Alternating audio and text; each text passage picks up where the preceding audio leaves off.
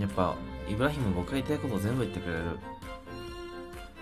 これハードル上がってきてるなボルテージの上がりを感じるなやっぱイブラヒムなんだなって。僕の今日の配信のタイトルイブラヒムこいつは最強の男。だからね。え本当っすか？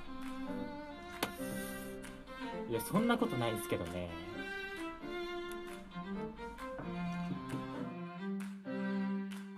いやそんなことないですけどね。いやイブラヒム最強だよそんなことないっすよ。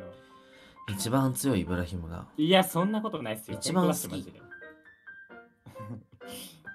やめてやりすぎっすよ。照れるのやりすぎなんすよ。やめて照れるの。あーガチっぽくなっちゃうから。ねえじゃないよ。